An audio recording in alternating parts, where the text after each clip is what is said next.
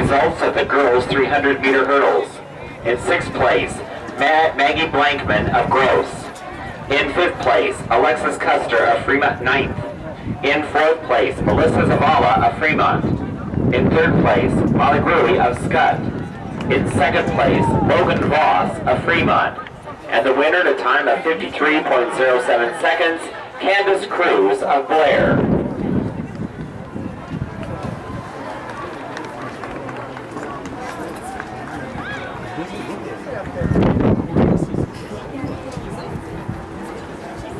Last call, girls 200 meter dash. Last call, girls 200 meter dash.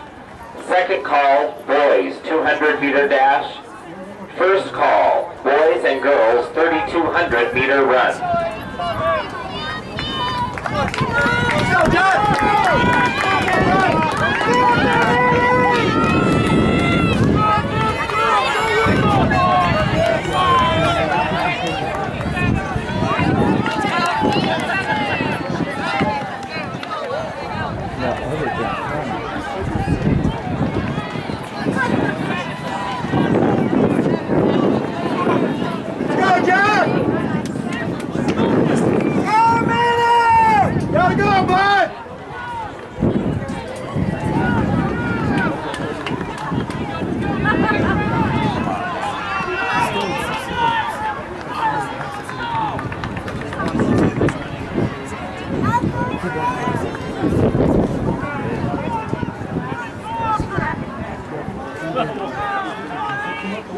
You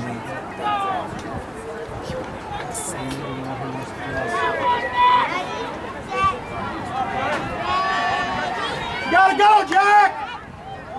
You gotta beat it!